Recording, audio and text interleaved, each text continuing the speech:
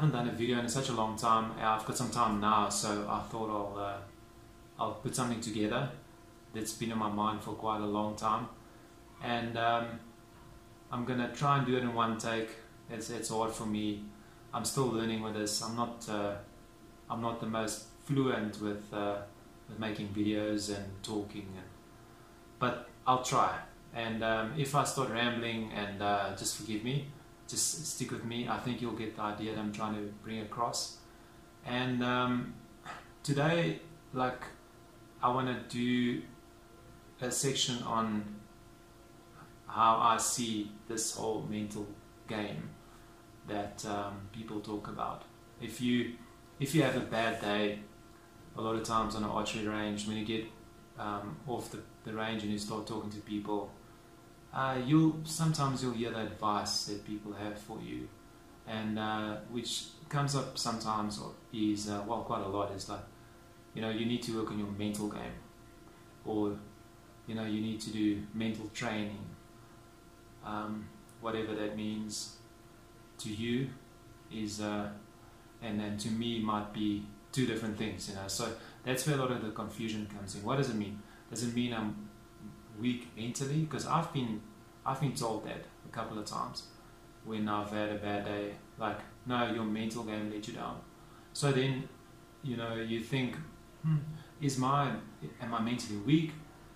What you know, what does it, what does this person mean uh, when they say that? And a lot of times they're trying to help. Most most people are trying to help, and um, so, but anyway. Um, so I've been doing a lot of research on, on mental training and sports psychology, sports hypnosis, and um, this is how I see it. Okay, so um, before you start worrying about mental training, um, I want you to do the following. We'll do it step by step. If you follow me, I will help you through the process, and I can tell you that um, you will be better at the end of this. Well, I hope so.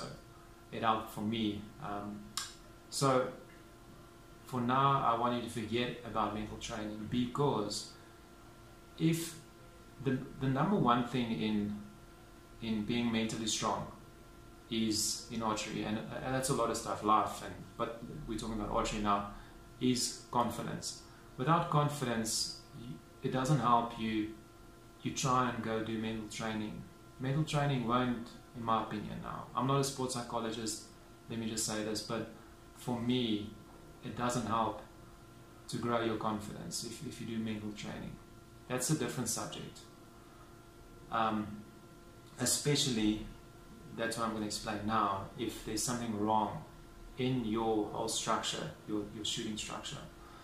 So, for now, I'm going to tell you step by step, and I'm going to try and explain as we go, the reason behind this, and also that you have a broad understanding of my my um, train of thought.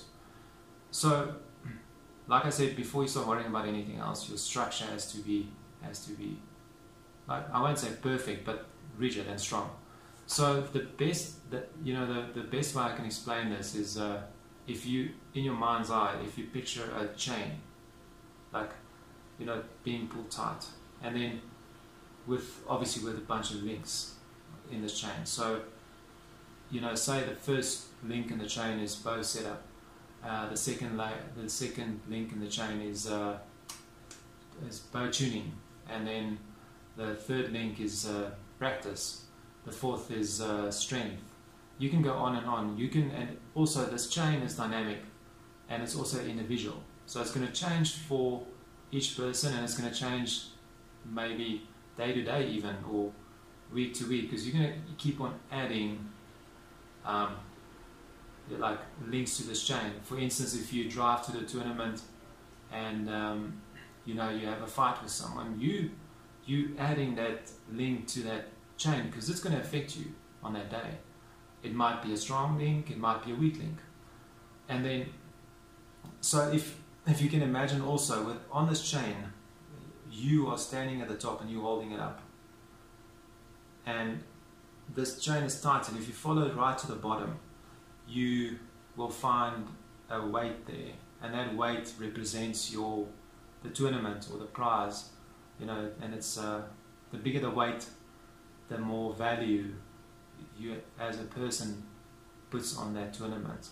So if it's a shoot between you and your buddies, it might be a bit of a lighter weight. For some, it might be huge, but uh, most of the time, it's going to be like just a fun day. So it's going to be you want to win, but it's not it's not kind of a life and death in your mind. Uh, if you go then to a regional tournament, it's that weight gets a bit um, gets a bit bigger, and then when you get to a national tournament, it, it gets even bigger, and the chain is pulled tighter, obviously because the weight is heavier. And then if you shoot for money, that chain is like so super tight. So you would understand if there's a weak link somewhere, it might be fine for the for the tournament between you and your buddies or a regional tournament, but once you get to the nationals, boop, the chain breaks. So that's the whole idea behind it. If you if you um, have a bad day, and then instead of thinking you had a you, should work on your mental game, you go back and you um, look at your like individual chain and you think, well, where did it break? It might be I didn't practice enough. You might know it in your in the back of your head. You will know where it went wrong, and then you can go fix it. So there's a solution to this. It's not just go mental training. Um, if you had a bad flinch on the one time, you might have target panic. So you need to go and fix that link, and then go work on it, and then go back to the to, to another tournament, and then carry on. It might you know, and then like you go into that tournament and re- repeat the process. It's gonna it's gonna take a while for you to make your chain strong, so that you can gain confidence.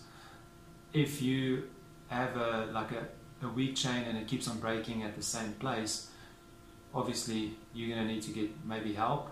Um, a lot of times when your form is bad, um, if, it's, if, you if you're drawing it's too short or too long, you're going to need to fix that before you, you carry on to the next tournament. And it's going to take time, it's trial and error, it's fine. Uh, we're not seeking for perfection, we're just seeking for progress. And then once you've got that sorted, your chain is strong, you'll see that your confidence will grow and you'll be able to immediately point out where your weak links are and work on it and that's and that's going to give you progress. And then if you got that fixed i'm going to do another video shortly and then we can dive into the next step. See this is step one. If you if you got the um, the will and and you know if you got the desire to improve i think this will help you. And also you can be creative with this. You can you can go make a like a like a notebook or buy a notebook, and then you can uh, write down your particular you know links in your chain, um, and then you can write down if you've had a bad tournament what your bad um, link was, where the weak link was, and then go work on it. And you can you can draw up one um, after each tournament. And then you can also reinforce if you've did well. And then you can say look at your strong points. Just also note that it's not only about the weak weakness it's about what is your strong points? I practice a lot. I worked a lot. Um, I, my bow shoots brilliantly. I worked on my sight tape if you shoot 3d or field or whatever. And then you know you can you can reinforce the good as well. So go try that and um, we'll do a video in the near future. Um, and then we'll dive a bit into this whole mental game um, rabbit hole, and we'll try to not make it a rabbit hole, and, and we'll try to make it clear. Of uh, just to give you an example, what we're gonna what we're gonna cover is why you get nervous, and you know why it doesn't help to tell yourself to stay calm. It, it doesn't work and um, we'll do some videos on how to make your bow forgiving in these uh, situations. What kind of bows are more forgiving in these situations? We'll dive a bit into this, and uh, we'll try to keep it as simple as possible, but yet informative, and um, and hopefully it will help you as well to to raise your game and um, you know take you to the next level. And uh, thanks for watching, and I will make another video soon. And uh, thanks for the support and um, the interest. Appreciate it.